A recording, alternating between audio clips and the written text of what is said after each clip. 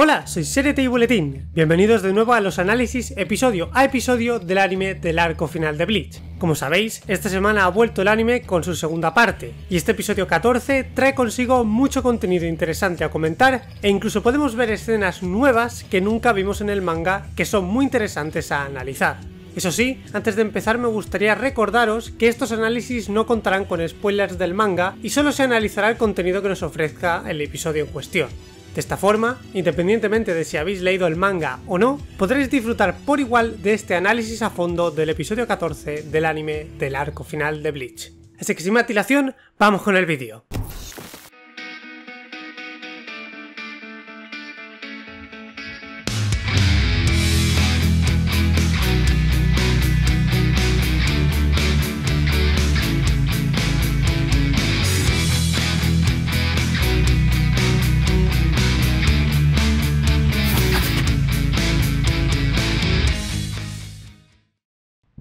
Bien, primero que todo me gustaría comentar brevemente el nuevo opening y el nuevo ending. En cuanto al opening, podemos ver que han tratado de traer de vuelta el espíritu de esos openings y endings del antiguo anime, donde los personajes dejan de lado el canon y se presentan en roles alternativos dando pie a la creatividad del personal del anime para incorporar diseños y situaciones ficticias que calcen bien con la personalidad de cada personaje, e incluso que calcen también con los eventos de la historia que están por venir, mostrando así pistas no tan evidentes que narran sucesos de la historia. Y este opening está lleno de esto, pero como he comentado en la introducción, con tal de evitar spoilers, dejaré todos estos detalles para un análisis de este opening que saldrá cuando termine esta temporada pero a grandes rasgos podemos ver que el diseño de varios personajes está inspirado en las ilustraciones que Tite Kubo ha estado compartiendo por Club Outside. Y encima, los colores del propio opening también siguen al pie de la letra los colores más pastel que utiliza Kubo en sus ilustraciones más recientes.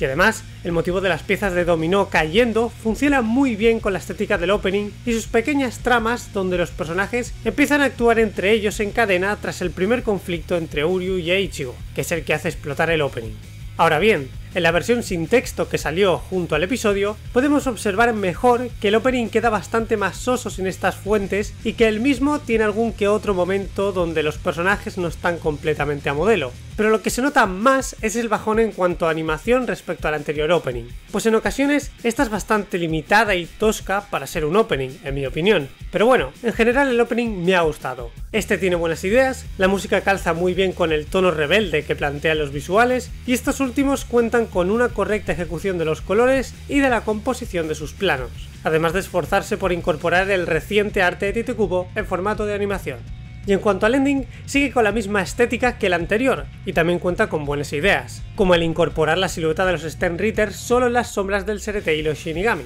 Y por algún motivo, la música junto a los visuales me recuerdan bastante a los endings de Shingeki no Kyojin. De hecho, el primer ending del arco final de Bleach y el primer ending de Shingeki me dan la misma vibra, y el segundo de Shingeki también me da la misma vibra que este nuevo de Bleach. Pero bueno, son solo sensaciones mías. Así que sin más dilación, vamos ya a comentar el contenido de este episodio 14.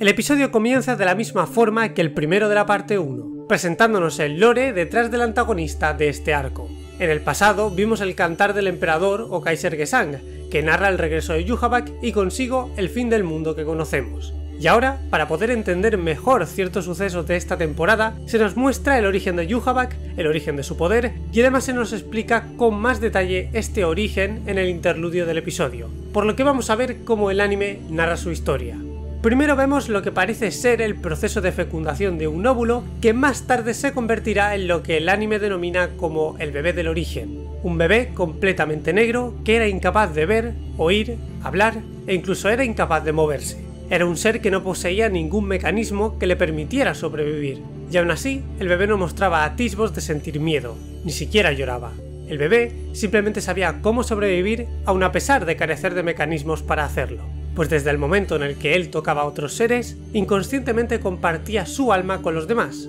es decir, compartía un fragmento de sí mismo con los demás al tocarlos, y esa parte cedida penetraba en el otro individuo y se encargaba de curar las carencias que éste poseyera, no importaba si eran físicas o no, el fragmento del bebé era capaz de curar miembros perdidos, enfermedades e incluso rebosar de valor a aquellos que eran cobardes. Y no importaba el tipo de existencia que fueras, Si eras un humano, el fragmento del bebé penetraba en tu alma para curar tus carencias, o si directamente ya eras un ente espiritual, o en terminología de la historia, un alma, el fragmento del bebé penetraba en tu cuerpo para de nuevo curar tus carencias. Pero además, ese fragmento era capaz de grabar los conocimientos y habilidades de todos los individuos que lo poseían, y cuando estos morían, los fragmentos regresan de vuelta al bebé y éste adquiere todos los conocimientos y habilidades grabadas en estos fragmentos. Sin embargo, las personas que se beneficiaban del bebé no gozaban de una vida larga. Todos morían al poco tiempo de tocar al bebé, pues este, de una forma más prematura que lo visto con Lausvelen,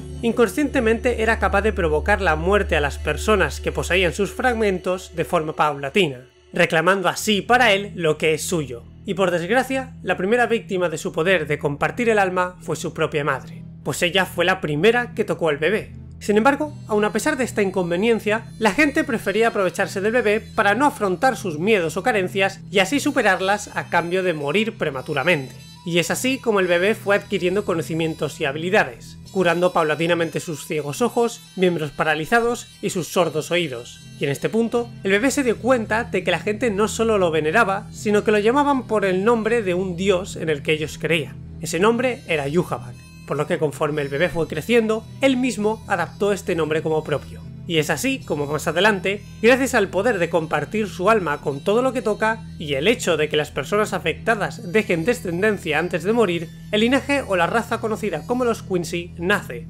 humanos que poseen la sangre de Yuhavak al ser hijos de seres que poseían sus fragmentos, y que por lo tanto poseen habilidades derivadas a compartir el alma, como el reunir o absorber partículas espirituales para moldearlas con su propio poder y así formar armas, disparar flechas o crear objetos espirituales. Y me encanta cómo el anime representa este vínculo de sangre que tienen los Quincy con Yuhavak y las personas que poseían un fragmento de su alma, pues las manos con agujeros en las palmas y los hilos de sangre que salen de estas sin duda recuerdan a Jesús, solo que en este caso es todo lo contrario. Jesús fue un mártir por el bien de los demás, mientras que Yuhavak utiliza a todos los demás como mártires para su propio beneficio, y utilizar esta inversión de la historia de Jesús para crear los visuales de la escena me parece una idea sublime por parte del equipo del anime. No había forma más sencilla, pero a su vez más clara y efectiva, de describir el origen de Yuhavak.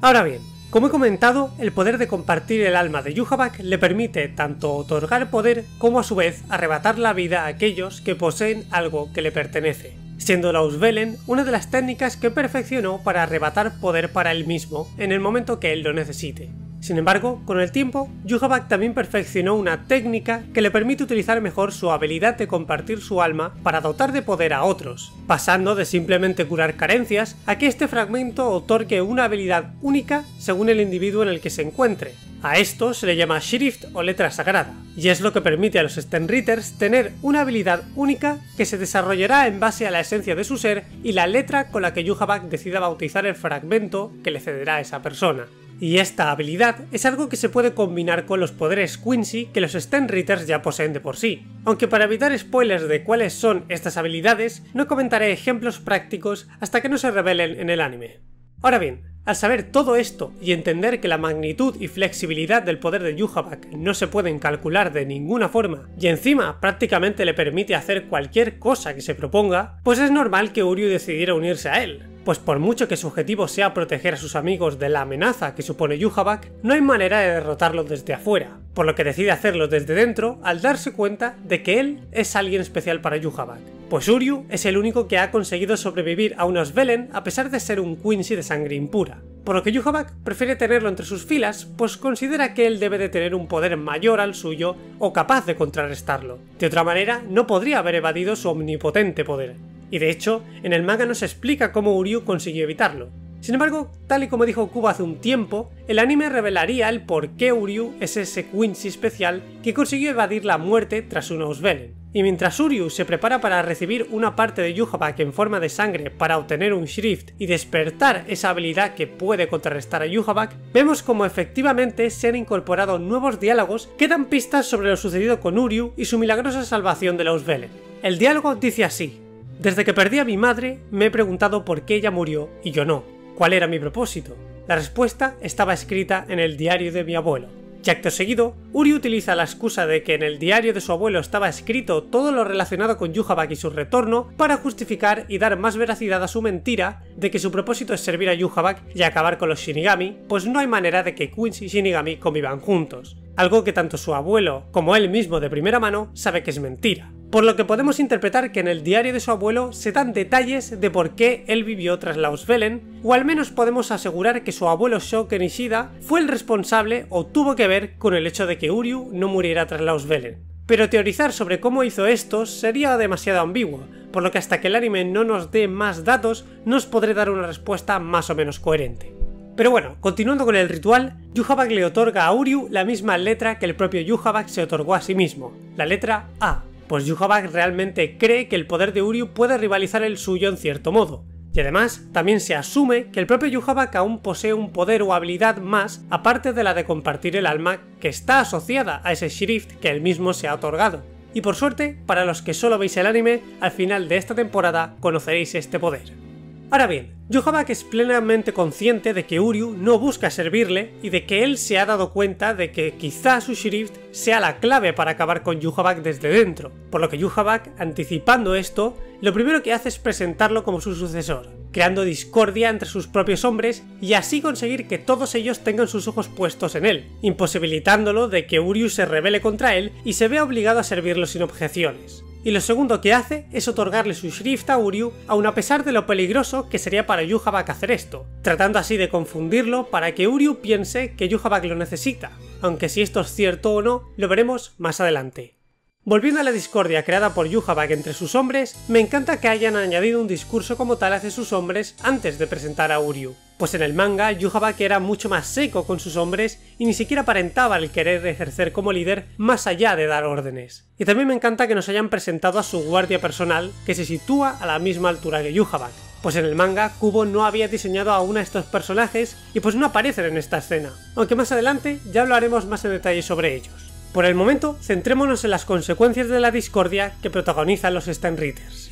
Primero que todo, vemos desconcierto y rechazo hacia Uryu entre todos los Stenritters y los Soldat, pero hay dos personajes que realmente se ven afectados por la situación. La primera es Bambieta Basterbine, la cual realmente se ve afectada por la incorporación de Uryu como sucesor, y para liberar su frustración decide tener sexo con un Soldat de su agrado, pero al parecer este no cumple con las expectativas de Bambieta y lo asesina, mostrándonos que es una mujer impaciente, caprichosa, sin empatía, cruel y sin escrúpulos si se trata de conseguir lo que quiere. Sin embargo, en el anime ella se muestra mucho más sundere que su contraparte del manga, pues en el anime la vemos esconder sus preocupaciones de los demás para aparentar que no le sucede nada, mientras que en el manga se deja llevar por su ira y no le importa mostrar sus flaquezas emocionales delante de su grupo. Ahora, el segundo Stenritter que también ha sentido rabia y frustración por Uryu es Basbi, y además, el anime deja mucho más evidente que su frustración no es tanto con Uryu, sino con el propio Yugram y su indiferencia ante perder un puesto que debería de pertenecerle a él por el hecho de ser comandante de los Stenritters y la mano derecha de Yuhabak.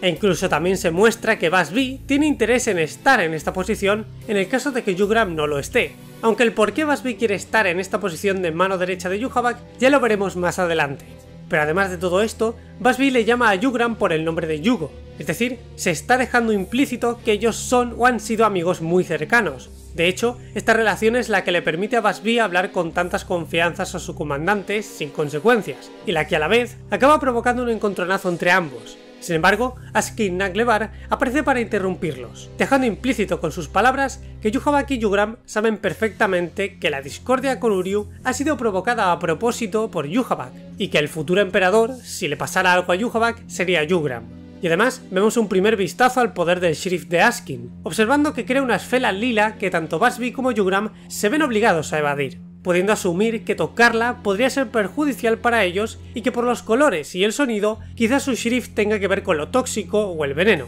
pero más adelante ya veremos de qué se trata exactamente su poder. Pasamos ahora al Palacio Real, concretamente al Palacio de Ichibei. Allí, el anime nos enseña nuevas escenas entre Ichigo e Ichibei que tienen como propósito explorar el entrenamiento especial que Ichibei quiere realizar con Ichigo. Pues después de comprobar que el poder de Yuhabak se encuentra por encima de las capacidades y habilidades de cualquier Shinigami, Ichibei asegura que Ichigo no podrá derrotarlo si solo se dedica a entrenar con su Zapakuto, diciéndole que si quiere derrotarlo tendrá que dejar de lado los métodos de los Shinigami para convertirse en algo superior, un alma que se asemeje al Yuhabak y que tenga un poder equivalente o capaz de contrarrestar el poder de compartir el alma, y Ichigo es el alma adecuada para ello, pues tanto él como Yuhabak, debido a sus circunstancias, son seres formados por varios tipos de razas y poderes, y al parecer, esta cualidad mixta es la que permite que un alma llegue a conseguir habilidades superiores que trascienden por encima de las capacidades de cualquier Shinigami, Hollow, Quincy o Fullbringer ordinario, como es el caso de la de compartir el alma al grado que Yuhabak lo puede hacer por lo que Ichibei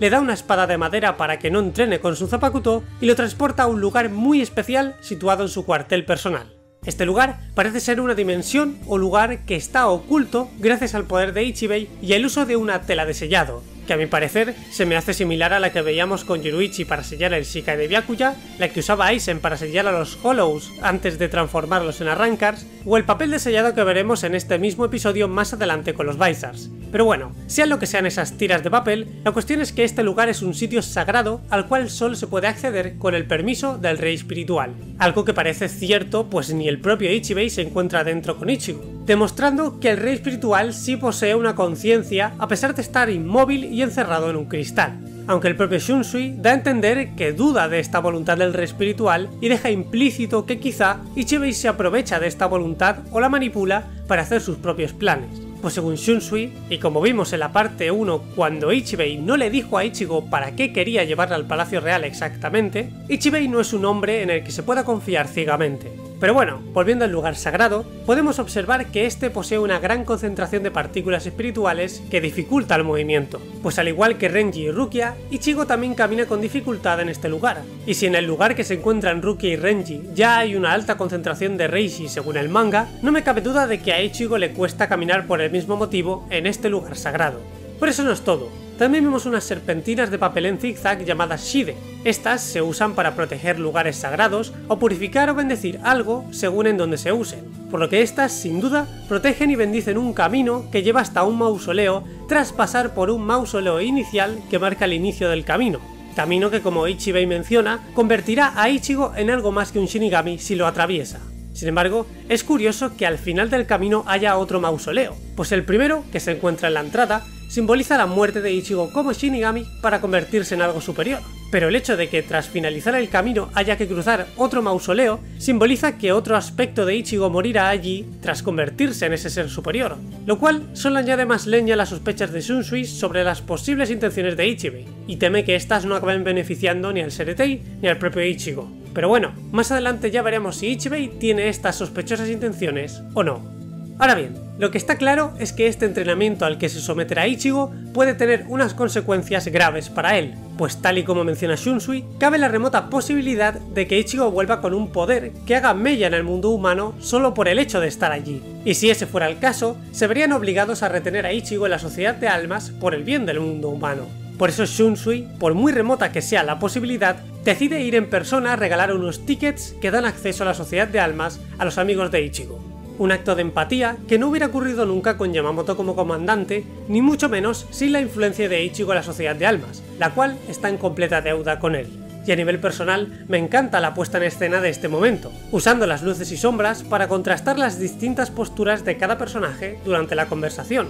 dejando a Shunsui en la sombra pero con la luz en la espalda, mostrando visualmente que a pesar de traer malas noticias de primeras, él pretende ayudarlos a pesar de todo, y luego tenemos a Keigo y Misuhiro que lo confrontan con unos intereses opuestos y la luz y las sombras se invierten respecto a Shunsui para comunicar esta oposición mientras que por último, Tatsuki se mantiene en la completa sombra, pues ella asume las malas noticias sin replicar a Shunsui. Y otro detalle curioso es el color de los Soul Tickets, que oficialmente son de color negro, pero resulta extraño verlos así tras jugar tanto a Brave Souls, aunque a estas alturas dudo que en el juego se cambien a su color correcto.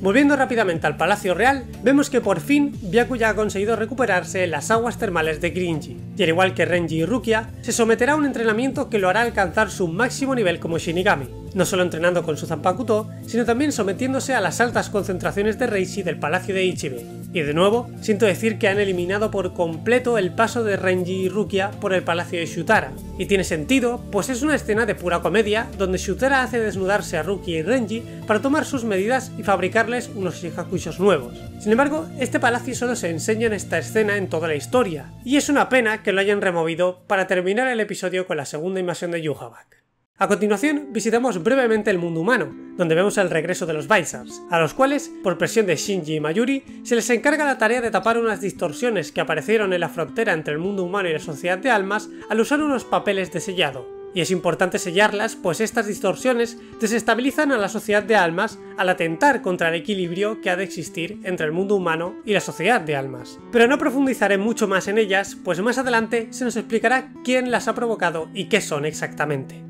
A continuación, viajamos a Hueco Mundo, donde vemos que Urahara está estudiando el medallón que pertenecía a Quill Geopie para encontrar una solución al robo de los Bankais y devolverlos a sus dueños, además de contactar con dos personajes que más adelante le serán de ayuda. Y aunque no diré quién son, es bastante fácil de adivinar si pensamos en un personaje que parece estar relacionado con negocios de algún tipo y otro que le encanta la moda y las cosas monas. Por otro lado, tenemos a Orihime. Ella, según el manga, estaba realizando un entrenamiento que consistía en viajar de un punto a otro de Hueco Mundo para encontrarse con Chad, Nell y su grupo, y con este personaje misterioso que en la primera parte quedó bastante claro que era Grimjoe. Sin embargo, el anime se salta este viaje de Orihime donde vemos que ella es atacada por un Hollow similar al que ella enfrenta la primera vez que despierta sus habilidades. Y a pesar de que Urahara les da un rastreador llamado Pero, este no ayuda en nada a Orihime a enfrentarse a ese Hollow. Y como dato curioso, el aspecto de ese rastreador llamado Pero es una referencia directa a los limos de Dragon Quest. Pero bueno, una vez se juntan todos, Chad y Orihime deciden entrenar juntos, Nell y su grupo también se preparan a su manera, y Grim Joe decide no involucrarse con nadie. Y en este momento, Orihime reflexiona sobre el momento que viven, uno donde unos humanos como ellos están en hueco mundo ayudando a los arrancas tras el ataque Quincy y preparándose para ayudar a los Shinigami, es un momento donde todos se están ayudando entre sí y además se están cuidando mutuamente de sus respectivos mundos. Y es una pena que un momento así no dure para siempre, y que eventualmente la guerra vuelva a comenzar. Y justo después de este anhelo de Orihime, el Seretei es invadido y comienza la segunda invasión de los Quincy, entrando de lleno a esta superposición de las sombras de los Quincy sobre el Seretei con un plano secuencia increíble y muy ambicioso que comunica la rapidez y el alcance con el que Yuhavak invade todo el Seretei algo posible gracias al poder de compartir el alma de Yuhavak, otorgando y superponiendo sus sombras para sustituir toda la arquitectura del Seretei a su gusto y revelar la dimensión de las sombras que se encontraba oculta y coexistía junto al Seretei en las sombras de este último, dotando a su vez de un cielo rojo decadente el cielo y de un azul representativo de los Quincy a todos los edificios del Seretei, humillando así aún más a los Shinigami mientras se revela la última línea de su cantar, declarando que Yuhavak tomará el mundo en nueve días. Pues hasta aquí este análisis del episodio 14 del anime del arco final de Bleach, uno de los pocos que dispone del tiempo para expandir el contenido canónico, pues a partir de aquí solo veremos pelea tras pelea tras pelea. Y sin duda, este episodio cumple con el cometido de no solo expandir el canon, sino añadir contenido nuevo que enriquece los eventos de la historia. Y además a nivel técnico ha sido súper consistente durante toda su duración y es difícil buscarle pegas en cualquier apartado. Así que por mi parte, nada más. Solo decirte que si te ha gustado este contenido, dale a like, suscríbete y activa la campanita para que YouTube te avise cada vez que subo nuevo contenido sobre Bleach. Te recuerdo que puedes seguirme en Twitter, en Instagram o ir a la pestaña de la comunidad del canal para estar informado del progreso de todos mis vídeos y nos vemos pronto con más vídeos sobre Bleach. ¡Chao!